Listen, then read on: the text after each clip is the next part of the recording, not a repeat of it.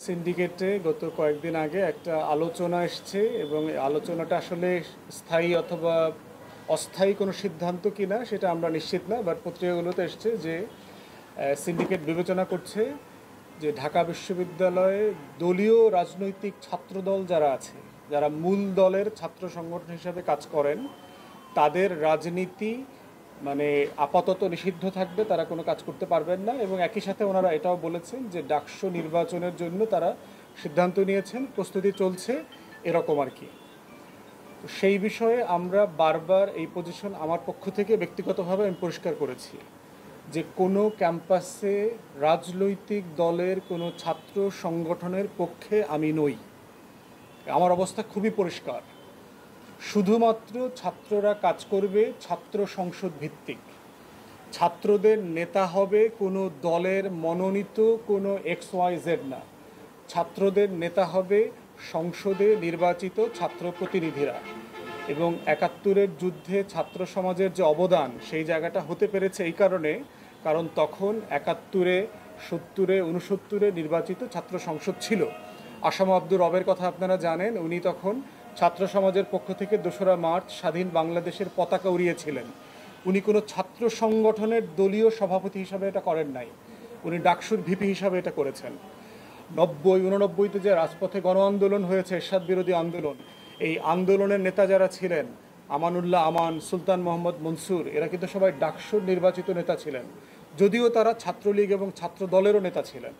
তা আমাদের অবস্থা, আমার ব্যক্তিগত অবস্থা খুবই পরিষ্কার। ক্যাম্পাসে, কলেজে, বিশ্ববিদ্যালয়ে কোনো দলের ছাত্র সংগঠন কাজ করতে পারবে না। তারা পড়াশোনা করবে আর তাদের অ্যাক্টিভিটিস পরিচালিত হবে হচ্ছে ছাত্র সংসদের মাধ্যমে।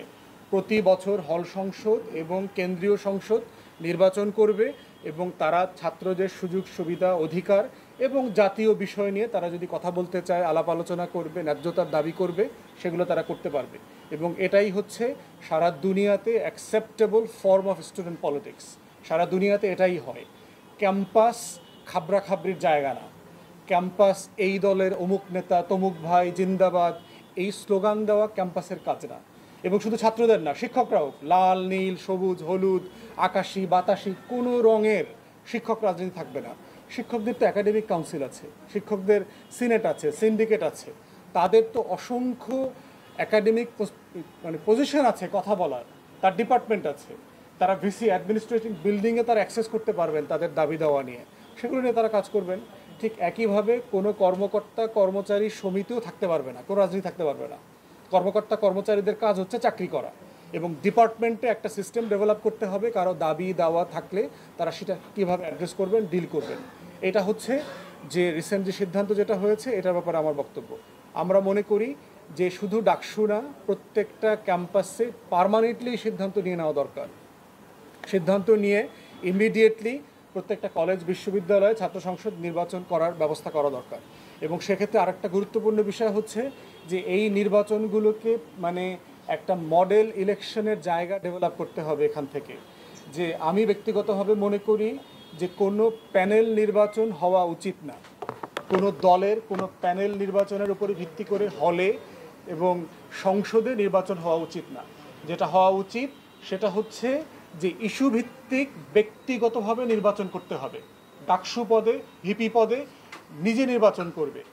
এজিএস পদে, জিএস পদে ব্যক্তি নির্বাচন করবে। কোনো প্যানেল নির্বাচন হবে না। তাহলে যেটা হবে, সিন্ডিকেট ডেভেলপ করবে না। প্যানেল দিলেই হচ্ছে একটা ক্রিমিনাল সিন্ডিকেট ডেভেলপ করবে। পনেরো জন মিলে একটা সিন্ডিকেট করবে আর এক পনেরো জন মিলে একটা সিন্ডিকেট করবে আর এক পনেরো জন মিলে একটা সিন্ডিকেট করবে।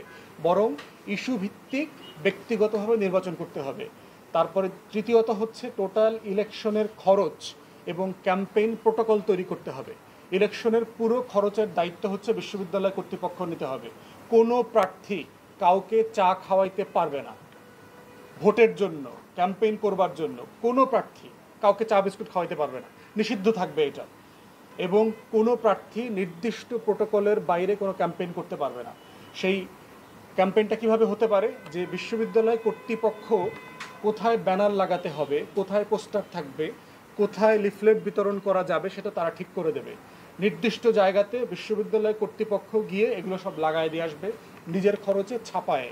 কোনো প্রার্থীর কোনো খরচ হইতে পারবে না, করতে পারবে না। এবং ইলেকশন ডিবেট হইতে হবে। ডাকসুতে রাকসুতে চাকসুতে যারা নির্বাচন করবেন, আপনারা দেখেছেন আমেরিকাতে ইলেকশন ডিবেট হয়।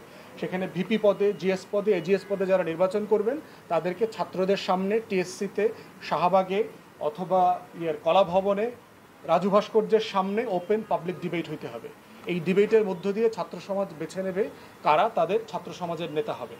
এইভাবে প্রোটোকল করে একটা মডেল ইলেকশনের দিকে আমাদের যেতে হবে, যারা জেনুইনলি ইলেক্টেড হবেন এবং ছাত্র সমাজের নেতা হিসাবে স্বীকৃত হবেন। এইটা হচ্ছে আমার ছাত্র রাজনীতি নিয়ে আমার বক্তব্য।